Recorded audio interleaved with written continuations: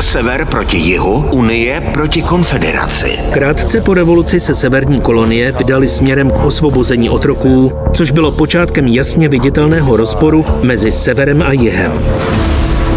Zrušení otroctví proti snaze o jeho zachování. Roku 1860 hrozilo, že americký experiment skončí explozí v podobě krvavé občanské války.